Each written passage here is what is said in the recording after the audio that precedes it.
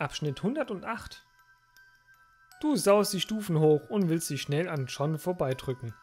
Aber der hebt schon die Hand und schnappt dich. Wow, dafür, dass der Kerl durchsichtig ist, hat schon ganz schön viel Kraft.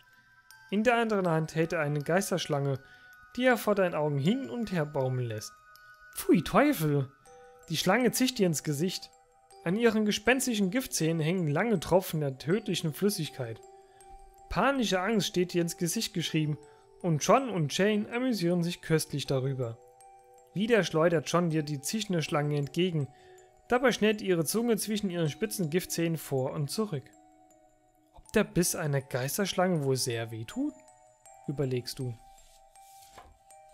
Wahrscheinlich schon, wenn du an deinen Schmerzen im Arm denkst, den John immer noch fest umklammert.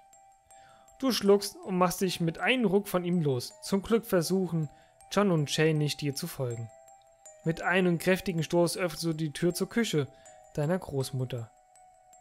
Ih, das andere Gespenst, Elvira, steht genau vor dir. So, so, du bist also zurückgekommen, knurrte sie dich an. Das wirst du noch bereuen. Sie dreht sich um und schwebt in die Diele. Dann segelt sie die Treppe hoch. In dein Zimmer. Folge ihr zu Abschnitt 49.